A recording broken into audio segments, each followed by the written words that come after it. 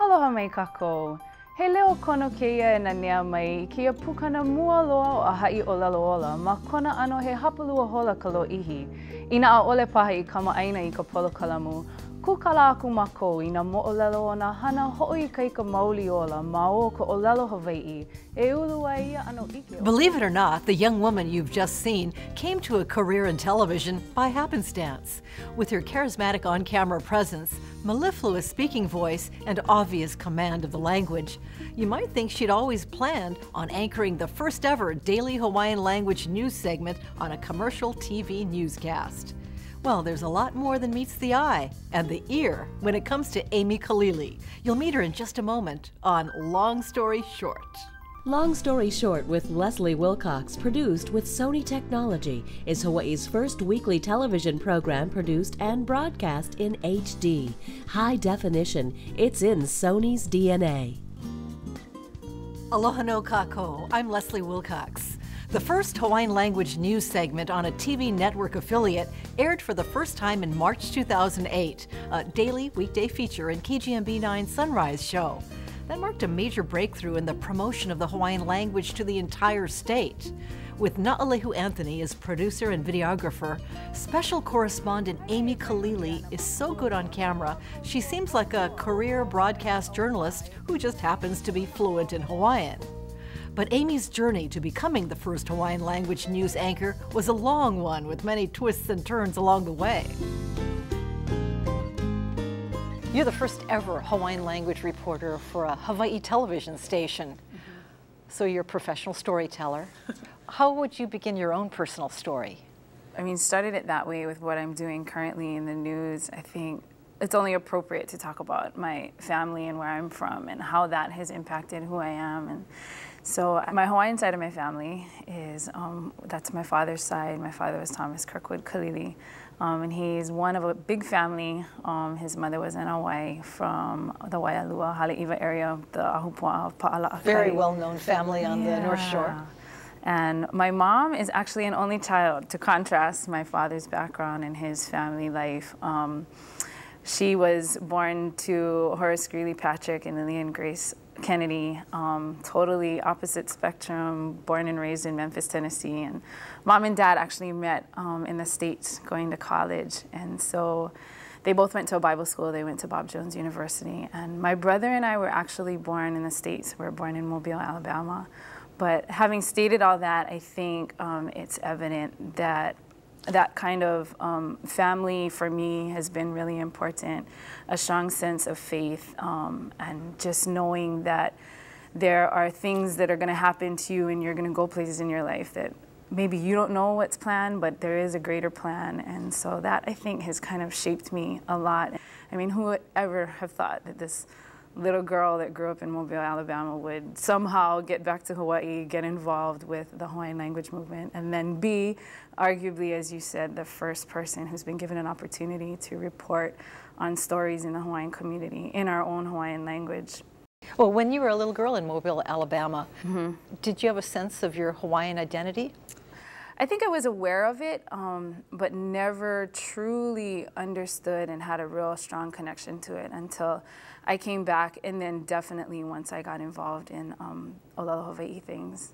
Did you grow up with the southern twang? I sure did. I can you still remember. do it? well, I don't know how um, true to form it's going to be, but I remember when I first moved to, when we moved back, my, my family, my dad moved us back to Hilo, Hawaii, and so I think I've heard like for the first maybe two weeks, I still used to talk like they is.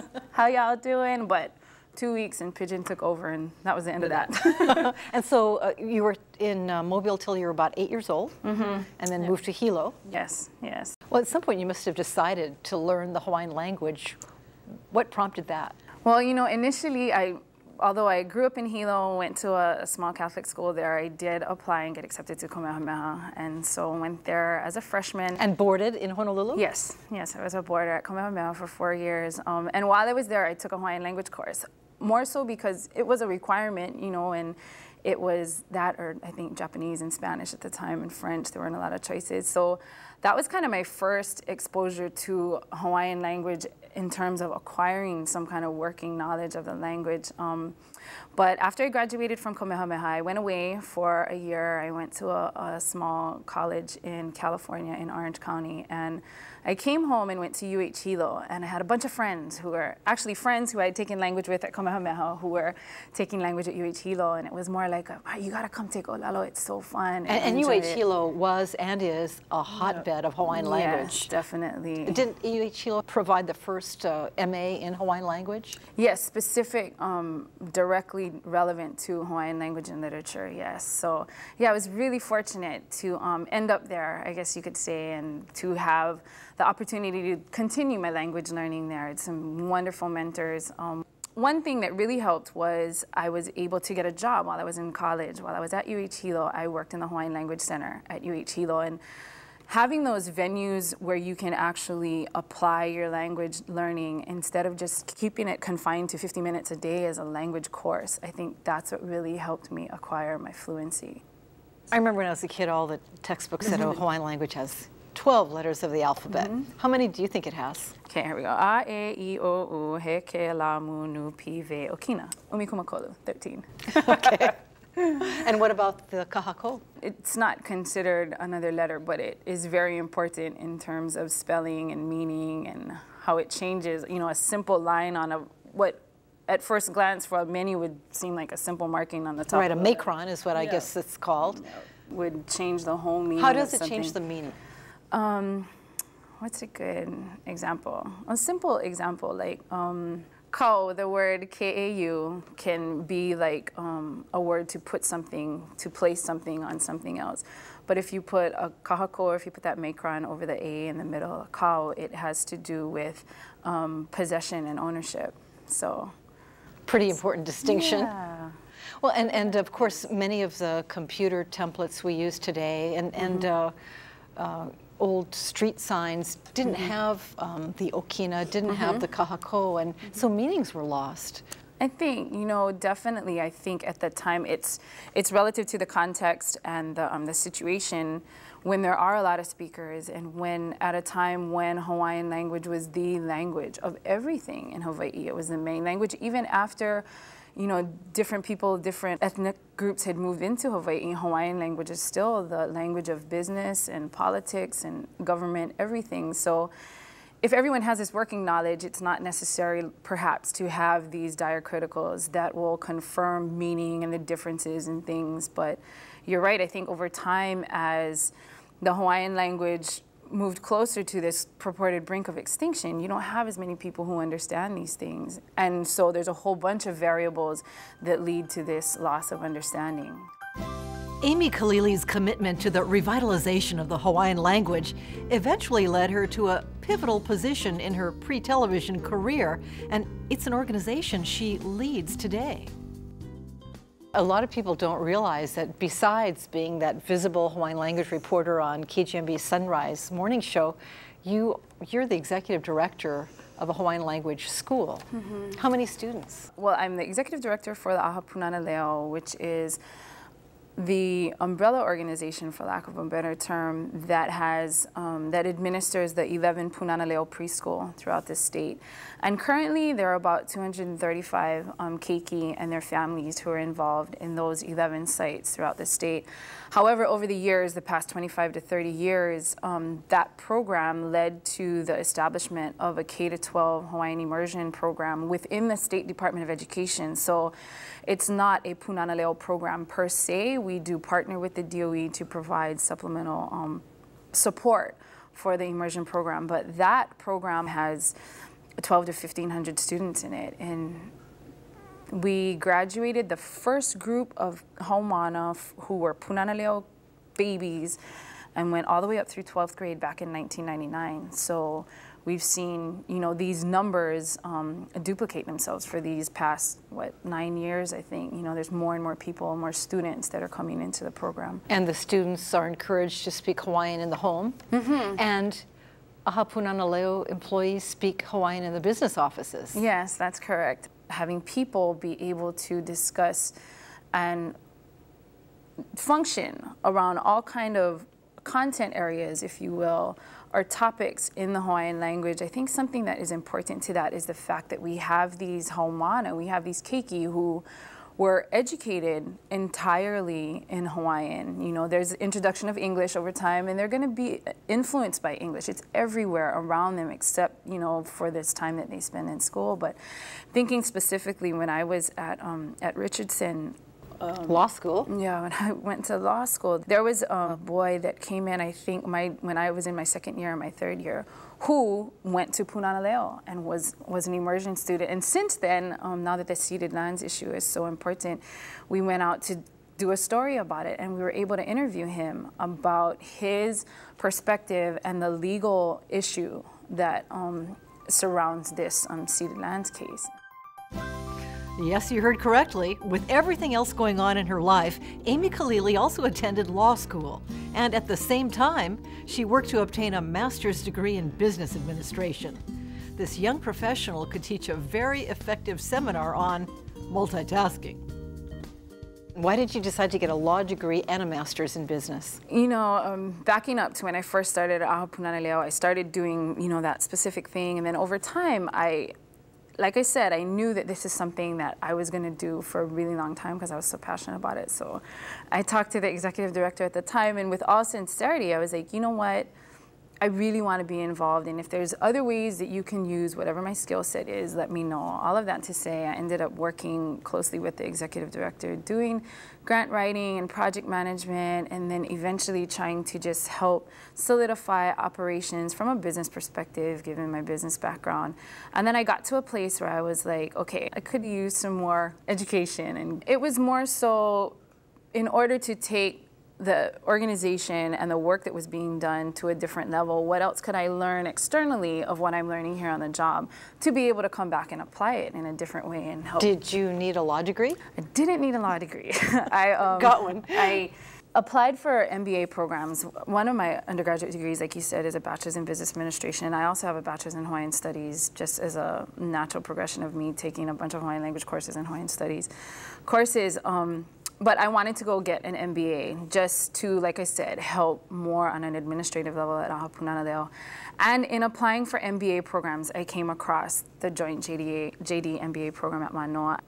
So honestly, I took a leap of faith, basically. And my perspective on it was, I'll do it for a semester, and if I survive, maybe I'll keep doing it. And if not, I'll finish my MBA. I'll still get some of this knowledge that I'm trying to seek out, and I'm still going to be able to help more. And so I survived the first semester in the first year and finished it. And of course, hindsight, 2020 now, I, it was a wonderful experience. It was work, it was a transition for me, um, but it's not something I wouldn't trade it for the world. I worked really hard though.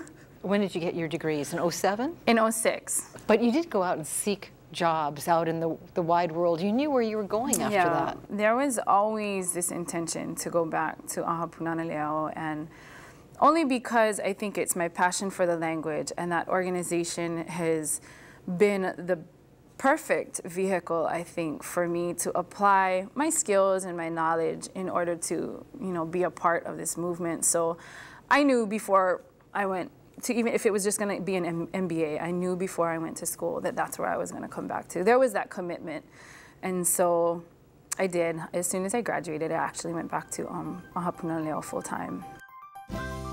Up to this point in her career, Amy Kalili had never even thought of becoming involved in a Hawaiian language newscast. But it was meant to be.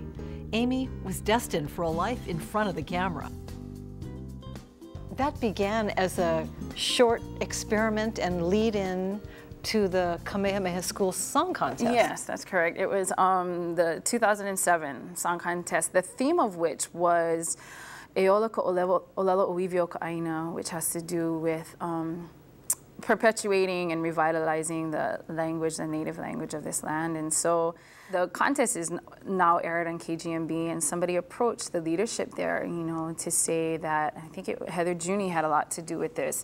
She approached them to say, you know, what a neat idea if you have all of this. Hawaiian language is the theme of the contest. The pre-show, which is aired, you know, right before the song contest is aired, had a lot of Hawaiian language interviews in it. It was about the Hawaiian language movement even within the contest itself, there were going to be a lot of Hawaiian language um, interviews. So her idea was do something to get your viewers used to hearing Hawaiian language and seeing it on the news, seeing it in broadcast. So they agreed, and um, Randy Fong at Kamehameha said, you know what, you need to go talk to the people at Punana Leo because it's definitely something they can pull off. And so I was at home in Haleiwa, and I got a phone call, I think on a Wednesday, and it was actually Kauanoe, and she was like, okay, you heard about this Hawaiian language, Hawaiian news thing? And I was like, no. She's like, okay, come home, we'll talk story about it. Went home to Hilo, came back on Thursday. We went to the studio Thursday morning, and Friday we went back and we shot the first five segments. Um, it literally just happened like that. Um, when I went home to talk story with them, it wasn't a this long decision making process about whether we should do it and whether I'd be willing to do it. I have no experience, no background at all in TV, much less news. And I think for all of us, it was just okay, nobody else is out there giving us this opportunity to put our language on news every day. And at that time, it was for five days. We were just like, okay, yep, yep, hikino, we're gonna do it. So we did that Friday. We recorded all of these these segments for the following week that were to air right up until song contest and that was to be it and i think it was the tuesday or wednesday that of that week KGMB decided to do it indefinitely. because there was such a huge positive response. Yeah, there was. I really like your segments because they they're not geared only for those who already speak Hawaiian. Mm-hmm. There's there's captioning, so when someone's speaking English, you know the Hawaiian. When you're speaking Hawaiian, we see the English. Yeah. At first, we didn't think about much of anything except just getting it done. But subsequent to that, it's you know for the Ahapunana Leo, the preschools and these environments where we try to bring in the families in intense 100% Hawaiian language for as much of the day as we can. That is a strategy for bringing our language back and getting it into the community. I think this initiative via broadcast TV has the ability to reach more people if we can cast a larger net and that you know includes what you're talking about. People who may not have the time to learn language and may not have this goal of being fluent but just to let people know even here in Hawaii Hawaii does have a native language and it's capable of being used on the news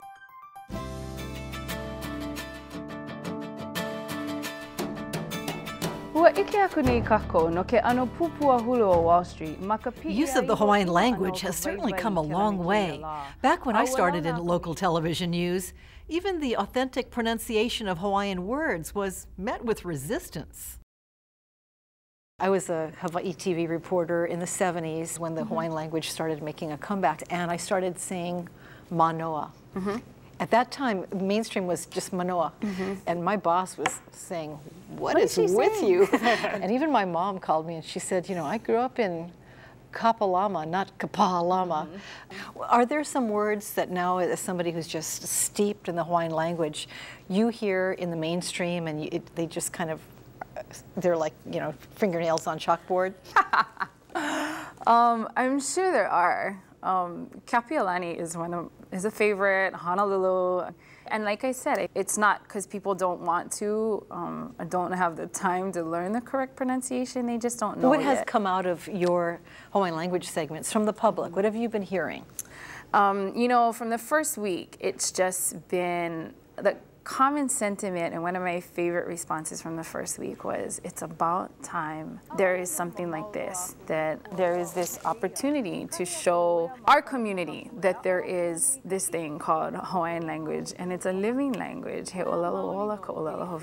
So I think that's one thing um, people in the Hawaiian community in the Hawaiian speaking community very appreciative that we're out there not only exposing the Hawaiian language but letting the rest of Hawaii know about these wonderful things that are being done in the Hawaiian community.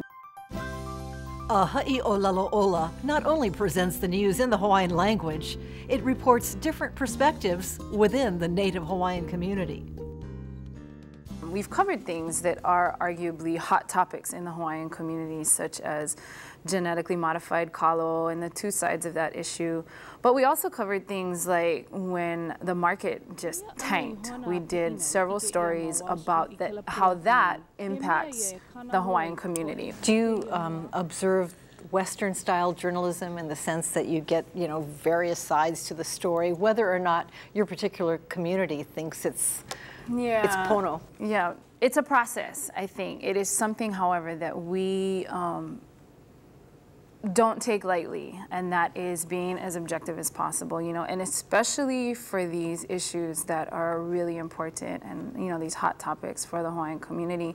Um, for example, whether it was the GMO piece that we did, even the ceded lands, we've done several stories on the ceded lands case. And there's a lot of division within the Hawaiian community yes, about that. definitely. And I think it's important individually, and I'm sure this is the case for journalists and people who are in the industry everywhere. You have your own personal views um, and your own personal stance, but I think it is important, even when it comes to these Hawaiian issues, to give as much information as possible to the community and let the community decide. By the same token, have you taken issues that have been given generally a, just a mainstream broad brush and brought zeroed in on the Hawaiian community viewpoint or a Hawaiian community viewpoint that hasn't come out before?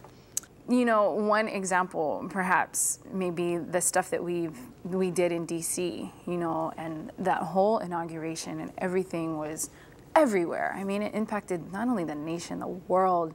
And so when we went up there, we were there for a total of 10 days. And that was kind of our, um, our focus and our purpose was to be there, be a part of KGMB's coverage of the event. Um, but while we're up there to talk story with the delegation, which a lot of people, you know, I'm assuming did when they were there. They had the opportunity to speak to their um, Congress, their representatives there in Congress. But that was important to us, is to go talk story with them about things that are relative to the Hawaiian community and try to bring those things to light. So, yes, definitely. Now, your um, your partner in all of this, your producer, your cameraman, you and he speak Hawaiian to each other in the field too. Mm -hmm. Yeah, when we first started about how things just kind of happen and you have to realize that there's a plan out there somewhere. Us being able to partner with Paliku Documentary Films that Na'alehu Anthony owns, even that, the way that that came about after that first week um, that we aired Aha'i Olelo Ola for the song contest, we had a crew that flew down. After the second or third day, we had a crew that flew down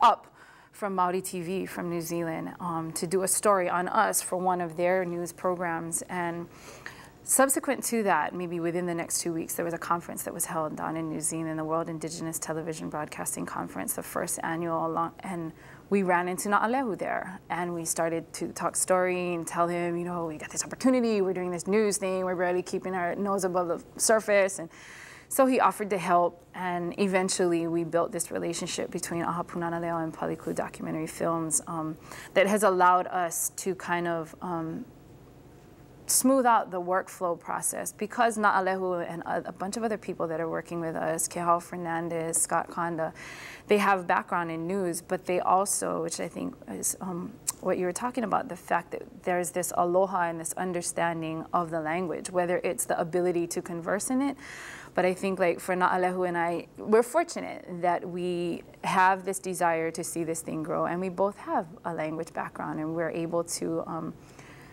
do our work through Hawaiian as much as possible, so.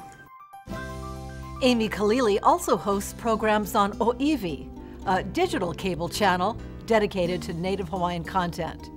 She sees it all as the beginning of an exciting wave of Hawaiian language television programming.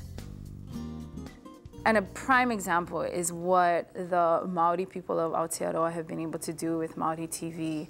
For me, that, that's a goal. It's a goal to shoot for. It may, definitely wouldn't be the end all be all, but having content that covers the gamut from news, drama, comedy, um, documentaries, having all of these things being done in the Hawaiian language from a Hawaiian perspective, I don't see any reason why we can't get there. You know, the financial resources to do so are always going to be an obstacle, but you know, it's something that we'll overcome and just finding the right people, growing a cadre of people who have the skill and who have the perspective to um, make it happen, I think is it's it's a wonderful opportunity that's out there on the horizon and we just got to keep moving closer to it day by day, one two minute story at a time.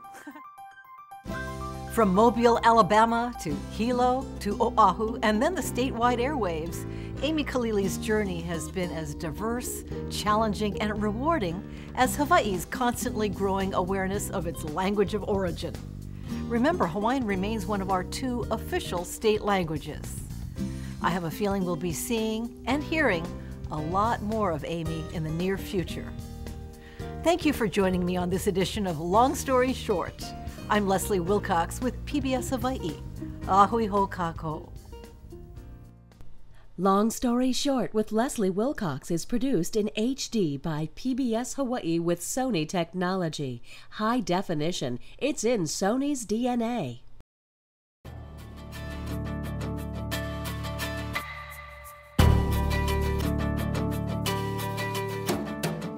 Ma keia pukana o Ahai o Lalola e ike ia no ka ma Wall Street a me ke ano e pai ka ekonomia o Hawaii a me ko kako imi mo laki ana.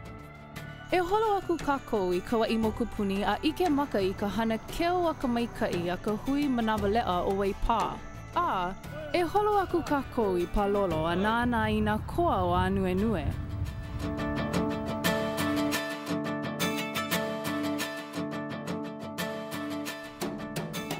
Ua ike aku nei kako no ke ano pupua hulu o Wall Street ma ka pii a iho ino ana o ka vaivai i ke la keia la.